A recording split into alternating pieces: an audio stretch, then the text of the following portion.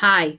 In this video, we are going to be looking at the document-based question. We're going to be going through two sample responses, talking about and looking at a high response that received all of the points and another response and why that other response did not receive the points. So the DBQ that we are going to be using, once again, hippo is your magical word. The points come from Hippo. This is the very same optional DBQ that you will be doing. It has a prompt.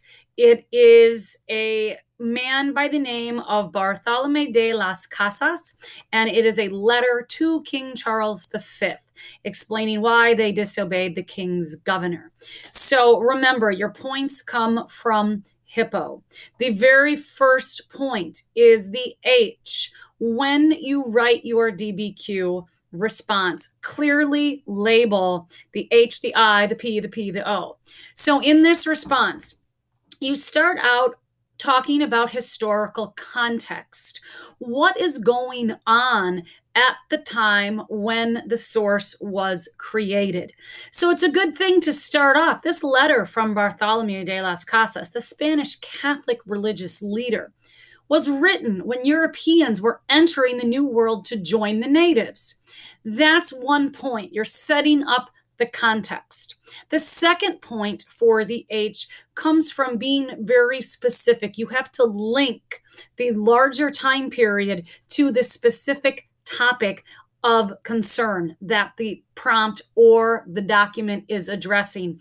In this case, this essay, this paragraph says when the New World to join the natives, specifically when the Europeans were forming the encomienda system, claiming it was helping and protecting the natives. Once again, you take the broader context. The Europeans are entering the New World into a smaller issue that is specifically mentioned in the document. So that receives two points. Notice the response has the H clearly labeled at the end of the sentence or two sentences or even three sentences. So you look at the I in Hippo. Las Casas was writing to the King of Spain. That's the intended audience. Not only do you have to state the intended audience, but you have to state the why. Why is he writing to the King of Spain? And he is writing to the King of Spain in an attempt to speak out for those who have no voice, because he was the only person to give the natives the freedom that they deserved. So it's not just he's writing to the king. If, if you say he's writing to the king, that receives one point. You have to explain more. Keep in mind, this one was pretty clear that it says in a letter written to the king. Some of the documents are not going to be so easy. It is not enough ever, ever, ever to simply say, this is intended for the people.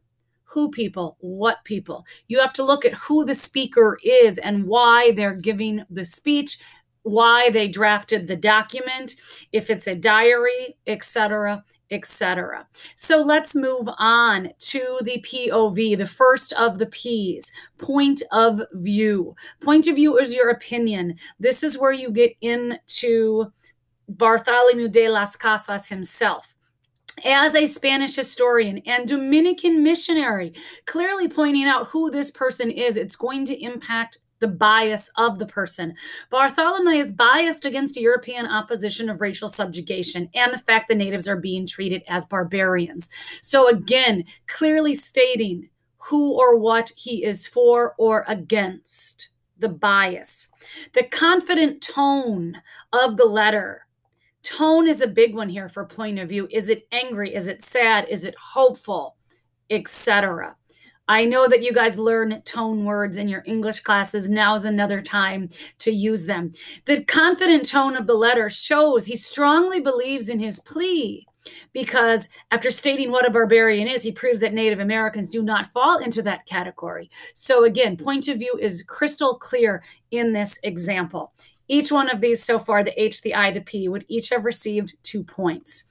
Moving on to the second P, which is purpose. Why is he writing a letter to the King of Spain? Letters took months to travel across the Atlantic Ocean. You had a quill pen to dip it in ink. It was not easy just to sit and write a letter. It's not like tweeting or sending a text today. So, why? What is his purpose? His purpose, you state it out. His purpose in writing the king this letter was hoping it would push the king into allowing the natives to gain their freedom.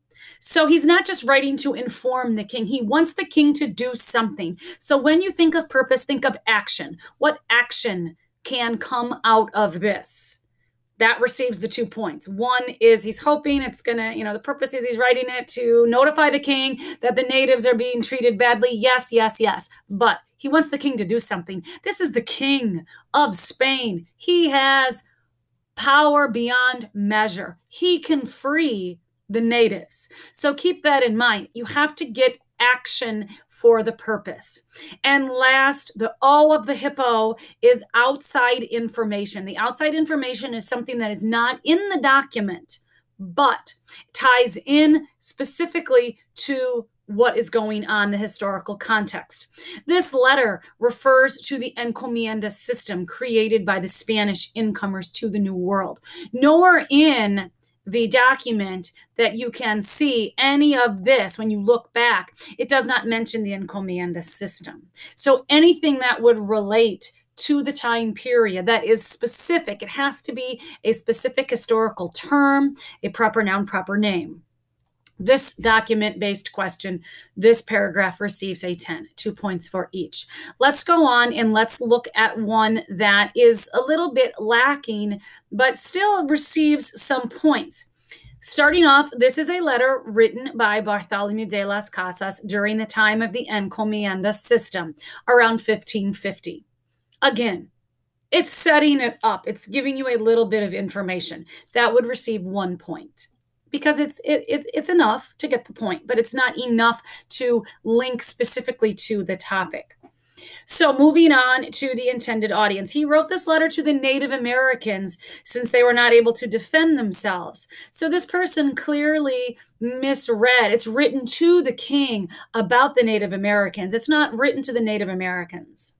So this person did not receive the points on that. They are correct in saying that the king had complete control, but the letter was to the king.